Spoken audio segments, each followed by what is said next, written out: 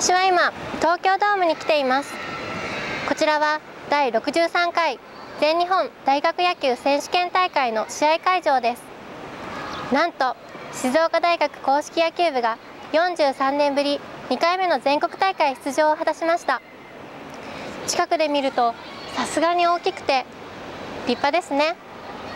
ここで静大硬式野球部が試合をするのを見られるなんてドキドキしますね。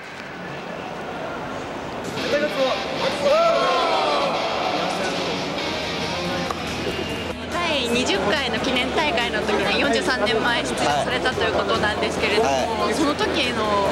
試合はどのような試合だったんでしょうか？残念ながらですね相手の中京大学だったんですけど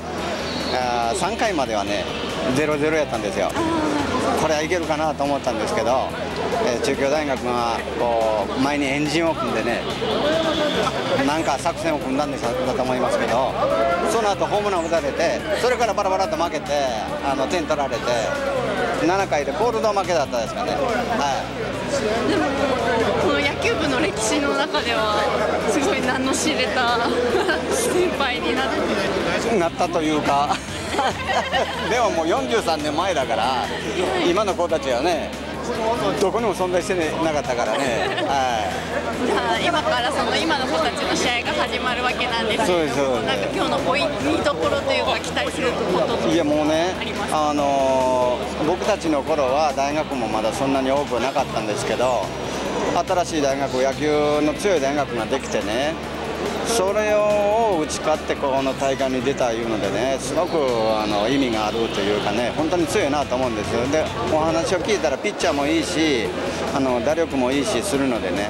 もう僕らの成し得なかった一生をね必ずこうやってくれたらなと思います。はい。ちなみにこれが、えーその43年前のお写真ってことなんですそうですそうです。はどちら、えーピッチャーだったとお伺いいしたんですけれども、はいどちらですか？僕はこれですね。この。幼い。若々しい。若々しい頃ね。はじゃあ、えー今の子たちになどありましたらいいやもう本当ねここに来るのもよく頑張ったと思うんですよ。けどもう自分たちの野球をしてねもう思い切り、えー勝っても負けてもいいんでね思い切りやってほしいなと思います。で僕僕たちはもう先輩としてもう精一杯応援はねしたいと思います。はい。ありがとうございます。えーっとまあ43年ぶりということで、えー前回の時は、えー1勝もできなかったので今回はまず、えー第一戦ですね1勝して次は優勝を目指して頑張っていきたいと思います。はい。えーっと選手の方は、えー今東大のグラウンドで、えー練習をしてきましてバッティングも好調で、えーみんな明るく緊張もしないで、えー練習をやっています、えー多分今日の試合やってくれるんじゃないかと期待してます。はい。ありがとうございます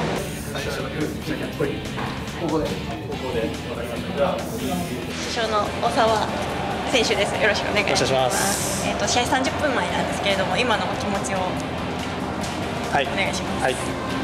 えっとえー静岡大学は、えーバッテリーを中心に守り抜く野球が持ち味なので、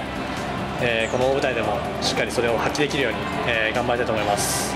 えーチーム一丸となって戦い、えー一戦必勝で勝ち上がっていきたいと思います頑張ってください。はいありがとうございます